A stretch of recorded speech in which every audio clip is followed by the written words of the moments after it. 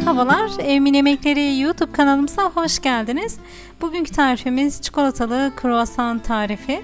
Marketlerden hazırına aldığımız kruvasanı bugün ev yapımı nasıl yaparız bunu sizlerle paylaşmak istiyorum.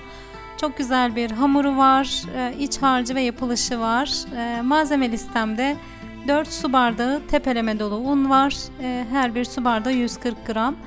1 yemek kaşığı toz şeker, 1 çay kaşığı tuz, 1 paket instant maya var. E, kuru malzeme listemde. Öncelikle bunları kendi arasında bir karıştırıyorum.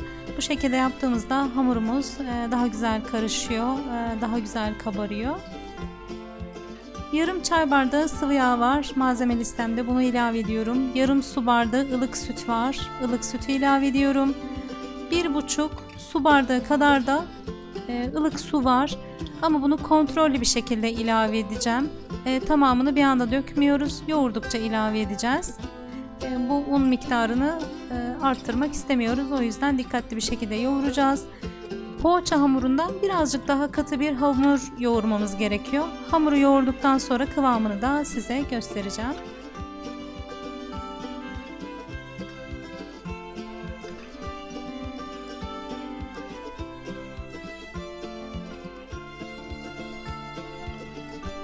Hamuru yaklaşık bir 10-15 dakika yoğuruyorum hiç durmadan. Ee, çok güzel yoğurulan hamurlar çok güzel kabarıyor. Hamurumu yoğurduktan sonra şöyle size de kıvamını göstermek istiyorum. Gördüğünüz gibi bakın çok pürüz, pürüzsüz bir hamur oldu. Poğaça hamurundan da birazcık daha katı bir hamur oldu. Oklavayla açacağımız için oklavaya elimize her yere yapışmasın. Şöyle biraz katıca bir hamur olsun. Daha sonra üzerine örtelim. Sıcak bir ortamda yarım saat mayalandıralım.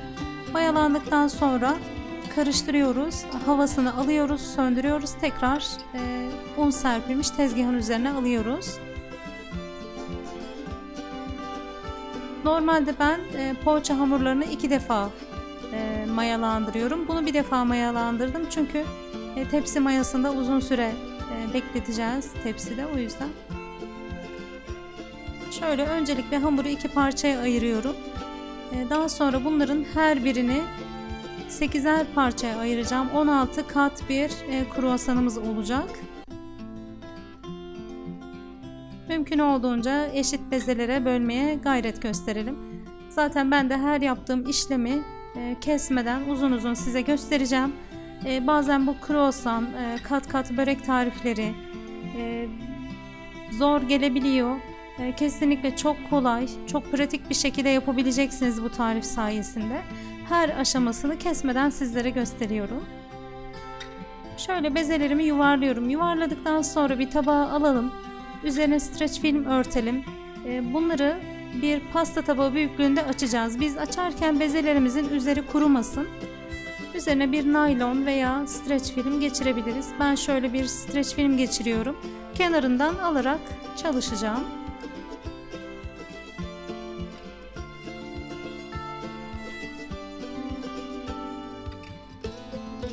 Tezgaha azıcık un serptim. Daha sonra küçük bir oklava yardımıyla pasta tabağı büyüklüğünde açıyoruz.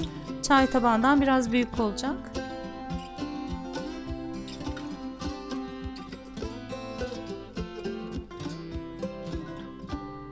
Her açtığım hamuru kenara alıyorum bezeleri. Gördüğünüz gibi 16 tane açılmış hamurum var. Bunu genişçe bir tabağa alıyorum. Tabağın altına un serptim.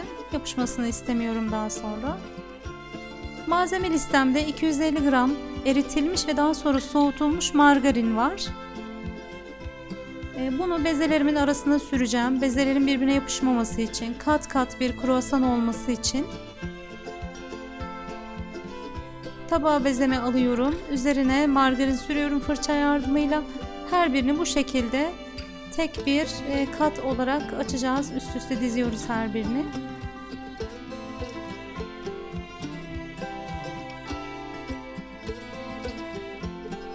zor değil, hiç yorucu değil. Sadece biraz vakit istiyor ve sabır istiyor. Siz de bu sabrı gösterdiğinizde çok güzel bir şekilde kruvasanız olacak. Bundan emin olabilirsiniz. Bundan sonra kesinlikle hazırını almayacaksınız. Lezzetini de kıyasladığınızda kesinlikle evde yaptığınızın daha lezzetli olduğunu göreceksiniz.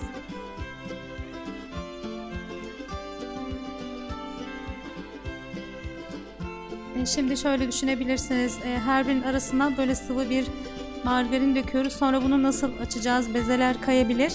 E, kesinlikle kaymayacak çünkü yarım saat kadar e, buzlukta bekleteceğiz.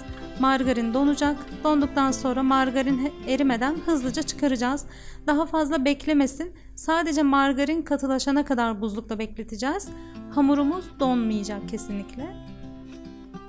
Gerekirse bu aşamada buzluğunuzun ayarını biraz düşürebilirsiniz. Ya da buzdolabının alt kısmında bekletecekseniz buzdolabının ayarını yükseltebilirsiniz. Her katı koydum. Üzerine streç film geçiriyorum. Daha sonra buzluğa gönderiyorum.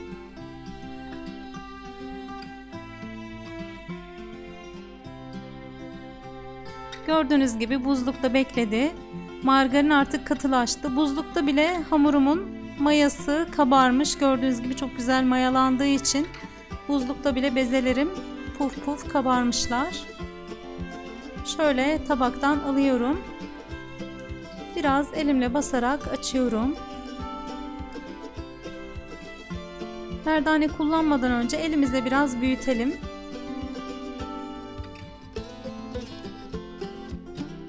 Altını üstünü çevirerek yapalım. Ee, çeviriyoruz çünkü üstünü biz bastırdığımızda alttaki bezeler küçük kalıyor. E böyle biraz hamur büyüyene kadar altını üstünü çevire çevire açalım elimizle. Her iki tarafında da elimizle çalışalım. Hem altında hem üstünde. Böylelikle bezelerimizin eşit bir şekilde genişlediğini göreceksiniz.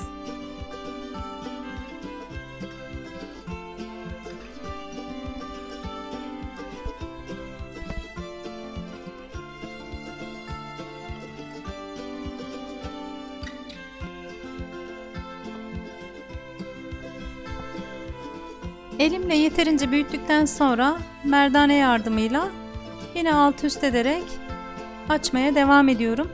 Tezgahı arada bir çok hafif unlayabilirsiniz. Şu anda margarin hala katı. E, bu aşamada e, merdane ile ve oklavayla açarken e, mutfağın kapısını pencerelerini biraz açalım. Ortam çok aşırı sıcak olmasın. Çok aşırı sıcak olduğunda margarin erimeye başlayabilir ve e, hamurun e, kıvamı hızlıca yumuşayabilir. Bu da önemli bir püf noktası diyebilirim. Ben bu aşamada kapıyı biraz açtım. İçerisi biraz soğudu. E, rahatlıkla çalışabiliyorum böylelikle. E, merdane ile biraz büyüttükten sonra daha büyük bir oklava alıyorum. E, bir hazır yufka büyüklüğünde kocaman açıyorum.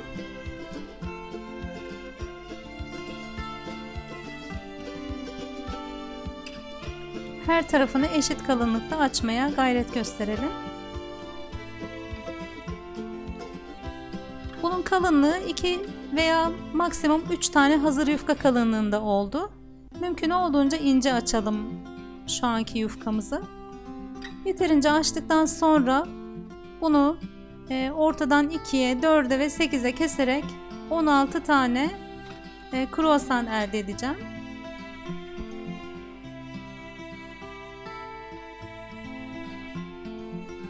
Bunu da iki fırın tepsisinde pişirebiliyoruz.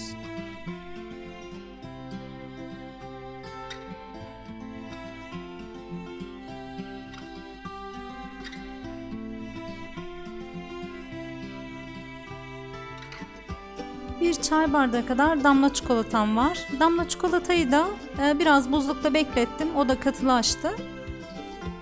Her bir kruvasanın içine bir tatlı kaşığı kadar damla çikolata koyuyorum. Kruvasanın e, bana doğru olan geniş kısmına e, şöyle bir santim derinliğinde bir çentik atıyorum. Bıçakla kesiyorum. Bu da e, kruvasanın böyle biraz daha uzun, geniş olmasını, bir hilal şeklinde olmasını sağlıyor.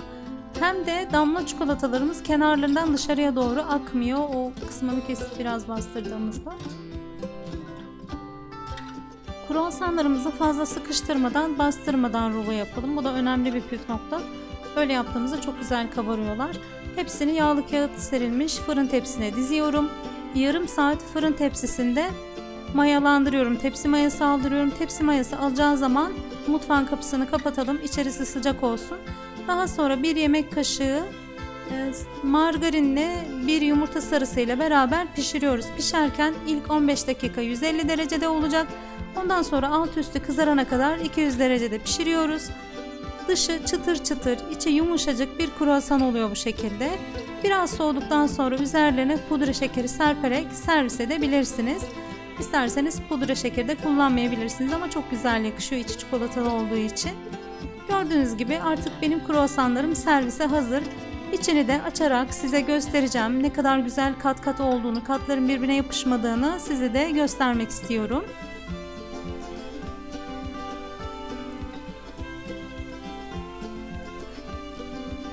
Gördüğünüz gibi dışı çıtır çıtır tel tel dökülüyor kruvasanımızın. İçinde de bakın her kat birbirine yapışmadan net bir şekilde görünüyor. Gördüğünüz gibi artık servise hazır. Deneyen herkese şimdiden afiyet olsun. Umarım tarifim sofranıza mutluluk katar. Mutfağınız huzur, bereket, sağlıkla da olsun diliyorum. Sizden ricam kanalıma yeni geldiyseniz ve henüz abone değilseniz eğer kanalıma abone olmayı, birbirinden güzel yeni tariflerim için zil ikona tıklamayı unutmayın. Tarifimle ilgili görüş ve önerilerinizi yorumlar bölümünde benimle paylaşabilirsiniz. Beğendiyseniz beğendi yapmayı unutmayın. İzlediğiniz için teşekkür ediyorum. Mutlu günler diliyorum.